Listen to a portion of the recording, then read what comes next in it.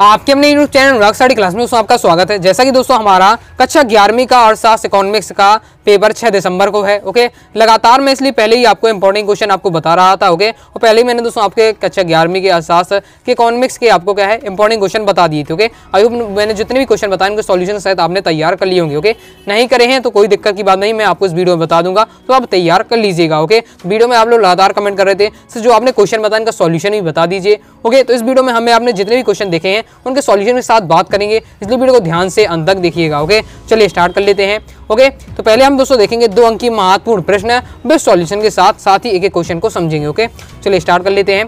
पहला दोस्तों हमारा क्वेश्चन है, दो, आपका क्या है कि अर्थशास्त्र से आप क्या समझते हैं ओके अर्थशास्त्र से आप क्या समझते हैं? तो ये दिया हुआ है अर्थशास्त्र। दो शब्दों, अर्थ तथा शास्त्र के योग से बना हुआ है। अर्थ का अर्थ है धन, शास्त्र का अर्थ है विवेचना ओके इस प्रकार के धन की विवेचना करने वाले शास्त्र को क्या कहते हैं? अर्थशास्त्र कहते हैं। वही हो जाता है आपका अर्थशास्त्र की परिभाषा ओके नेक्स्ट क्वेश्चन है, आर्थिक डेटा क्या है ओके आर्थिक डेटा क्या है? तो ये आपका दिया हुआ आर्थिक डेटा क्या है? मनुष्य द्वारा धन कमाने के उद्देश्य की गई समस्त क्रियाएँ, जिन्हें मुद्रा में मापा जा सकता है। आर्थिक क्रिया कहलाती जैसे शिक्षक द्वारा शिक्षण, चिकित्सक द्वारा योग रोगी का उपचार करना आदि। हो गए ये सब है आपकी आर्थिक डेटा। हो गए आगे नेक्स्ट क्वेश्चन देख लेते हैं। नेक्स्ट जो हमारा क्वेश्चन है, उपभोक्ता से आप क्या समझते हैं? ओके? तो उपभोक्ता से आप क्या समझते हैं? तो ये आपका दिया हुआ है। उपभोक्ता क्या है? जो व्यक्ति विभिन्न वस्तुओं एवं सेवाओं का उपभोग करता है, या उन्हें उपयोग करता है उन्हें क्या उपभोक्ता कहते हैं? जैसे वस्तुओं का उपयोग, गेहूँ, आटा, चीनी, शक्कर, फल एवं स्थायी वस्तु, जैसे टेलीविज़न, मिक्सर, ये सब क्या सम्मिलित है, ओके? आगे नेक्स्ट क्वेश्चन देख लेते हैं। नेक्स्ट जो हमारा क्वेश्चन है, सांख्यिकी के दो कार लिखिए ओके? सांख्यिकी दो कार आपको बताना तो ये आपके दिए सांख्यिकी दो कार। सांख्यिकी का कार्य तथ्यों और को सूक्ष्म तथा सरल रूप में प्रस्तुत करना है। दूसरा क्या है? कि समांतकों के बीच तुलनात्मक अध्ययन के लिए आधार प्रस्तुत कराता है, ओके? आगे नेक्स्ट देख लेते हैं। नेक्स्ट दोस्तों हमारा क्वेश्चन है, आंकड़ों के शाब्दिक प्रस्तुतिकरण की कोई दो सीमाएँ बताइए, ओके? चलिए इसे देख लेते हैं। तो इसका सॉल्यूशन आपको ये दिया हुआ है, आंकड़ों के शाब्दिक प्रस्तुतिकरण की दो सीमाएँ आपको बतानी तो प्रस्तुतिकरण की दो सीमाएँ हैं? कौन कौन सी हैं? पहला है पाठ विषयक या वर्णात्मक प्रस्तुतिकरण, दूसरा है सारणीबद्ध प्रस्तुतिकरण, तीसरा है आरेखीय एवं चित्रमय बिंदु रेखीय प्रस्तुतिकरण, ओके? चलिए आगे नेक्स्ट देख लेते हैं। नेक्स्ट दोस्तों हमारा क्वेश्चन है, अच्छी प्रश्नावली के कोई दो कौन लिखी। बहुत ज़्यादा इंपॉर्टेंट है। ओके प्रीवियस ईयर में आ चुका है। तो अच्छी प्रश्नावली के कोई दो कोण कौन से हैं? पहला है, सरल और स्पष्ट प्रश्न, स्पष्ट और सटीक होने चाहिए। दूसरा है, प्रश्नावली, उधार और क्या सीमित होना चाहिए? ओके आगे नेक्स्ट देख लेते हैं। नेक्स्ट जो हमारा क्वेश्चन है द्वितीयक डेटा, प्राथमिक डेटा से कैसे भिन्न हो ओके तो ये आपका दिया हुआ है मतलब आपको पूछा जा रहा है, द्वितीयक डेटा और प्राथमिक डेटा में आपको अंतर ओके तो डेटा को आपको संबंध भी कहते हैं तो ये आपका दिया है द्वितीयक डेटा और प्राथमिक डेटा में अंतर ओके तो स्क्रीनशॉट इसका क्या है फास्ट ले लीजिए। मैं आपको दिखा रहा हूँ तो स्क्रीनशॉट फास्ट इसका ले लीजिए अभी तक दोस्तों हमने क्या है, वीडियो को लाइक नहीं, वीडियो को लाइक करके सब्सक्राइब ज़रूर करिएगा। कोई दोस्तों डाउट हो कमेंट बॉक्स में आप ज़रूर पूछ लीजिएगा ओके तो ये अपना कंप्लीट हो जाता है ओके चलिए आगे नेक्स्ट क्वेश्चन देख लेते हैं। आगे दोस्तों, हमारा नेक्स्ट क्वेश्चन है, अच्छे प्रतिदर्श की दो विशेषताएँ दीजिए ओके तो अच्छे प्रतिदर्श की दो विशेषताएँ बतानी है। तो ये आपका दिए हैं, अच्छे प्रतिदर्श की दो विशेषताएँ, पहला है, प्रतिदर्श पूरी आबादी का प्रतिनिधित्व होना चाहिए। दूसरा है, एक प्रतिनिधि प्रतिदर्श प्राप्त करने के लिए प्रतिदर्श बेहतरीन ढंग से क्या है, चुना जाना चाहिए ओके ये आपके अच्छे प्रतिदर्श की दो विशेषताएँ ओके नेक्स्ट हमारा क्वेश्चन है, दो प्रकार के समांतर माध्य के नाम लिखिए ओके चलिए इसे देख लेते हैं।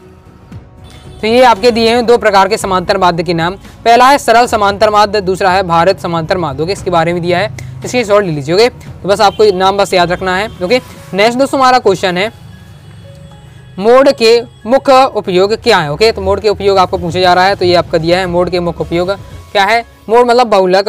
एक ऐसा मान होता है जो अवलोकनों के समूह में सबसे ज़्यादा बार दोहराई जाती है। इसे हम सबसे ज़्यादा आवृत्ति वाली संख्या भी कहते हैं, ओके?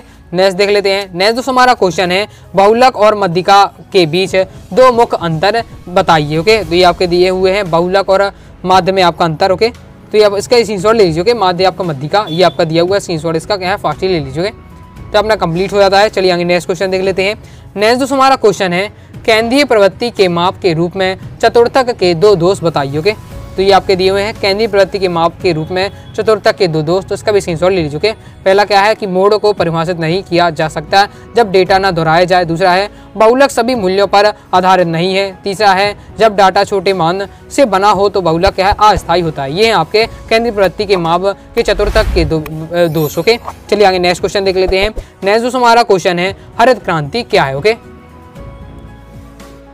ओके तो ये आपका दिया है हरित क्रांति से क्या है तात्पर्य आपका? तो हरित क्रांति क्या है?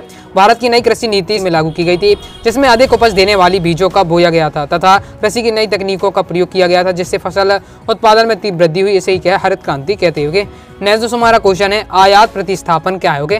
तो आयात प्रतिस्थापन क्या है? तो ये आपका दिया है आयात प्रतिस्थापन से आशय ओके? कि जो उत्पादन हम बाहर से आयात करते हैं, उसे घर पर अपने देश में ही तैयार किया जाता है। आयात प्रतिस्थापन का उद्देश्य वस्तु का निर्माण कर आयात की समस्या से बचना होता है, ओके? चलिए आगे नेक्स्ट क्वेश्चन देख लेते हैं। नेक्स्ट दोस्तों हमारा क्वेश्चन है, परिक्षेपण क्या है, ओके? तो देख लेते हैं इसका सॉल्यूशन इसका सॉल्यूशन आपका ये दिया हुआ प्रक्षेपण क्या है? प्रकाश के प्रिज्म से होकर गुजरने पर विभिन्न रंगों के प्रकाश में बैठ जाने को क्या है? परिक्षेपण कहते हैं, ओके? नेक्स्ट दोस्तों हमारा क्वेश्चन है मानक विचलन की गणना के लिए किन किन विधियों का उपयोग किया जाता है, ओके? तो ये आपका दिया हुआ है मानक विचलन के लिए के लिए किन किन विधियों का उपयोग किया जाता है, ओके? तो इसकी गणना के लिए क्या है? किन किन विधियों का उपयोग करना जाता है? तो पहला है आपका मानक विचलन समांतर माध्य से ज्ञात किया जाता है। दूसरा है मानक विचलन की गणना बीज गणतीय चिन्हों का ध्यान रखा जाता है, ओके? चलिए आगे नेक्स्ट क्वेश्चन देख लेते हैं। नेक्स्ट दोस्तों, हमारा क्वेश्चन है, ओके? तो आज जितने भी मैं क्वेश्चन आपको बता रहा हूँ सबकी आप पीडीएफ डाउनलोड करना चाहते हैं तो आप इन website Anurag classes dot com से आप प्राप्त कर सकते हैं। बस दोस्तों, आपको गूगल पर जाना है। गूगल पर सर्च करना अनुराग टी क्लासेस है। सबसे पहले वेबसाइट आएगी ओपन करिएगा। तो वहाँ पर आपको क्लास इलेवन के ऑल आपको सब्जेक्ट के इंपॉर्टेंट क्वेश्चन मिल जाएँगे ओके तो जितनी क्वेश्चन बताए, सभी आप तैयार कर लीजिएगा ओके चलिए आगे नेक्स्ट क्वेश्चन देख लेते हैं। नेक्स्ट दोस्तों, हमारा क्वेश्चन है लोग पलायन क्यों करते हैं ओके तो देख लेते हैं। तो इसका सॉल्यूशन आपका ये दिया हुआ है। फास्ट न्यूज़ ले लीजिए। लोग पलायन क्यों करते हैं? मानव पलायन के दो कारण हैं। यह वह कारक है जो मनुष्य की प्रवास होने के लिए धक्का या अपनी ओर खींचता है। पुल या पुष कारक चुंबक के उत्तर और दक्षिण दिशा की तरह है। अगर इन दोनों दिशाओं के आमने सामने रखे जाते हैं तो ये आपस में चिपक जाते हैं और समान दिशा में रखे जाने पर ये आपस में चिपक जाते हैं, ओके? और समान दिशा में रखे जाने पर एक दूसरे से अलग हो जाते हैं, ओके? तो बस आपको दो लाइन आगे की अच्छे से तैयार रखना है। लोग प्लान क्यों करते हैं, ओके? नेक्स्ट जो हमारा क्वेश्चन है, जैविक खेती के लाभ लिखिए। जैविक खेती के आपको लाभ बताने हैं। तो ये आपके दिए हुए हैं जैविक खेती के लाभ, ओके? देख लेते कौन कौन से लाभ हैं।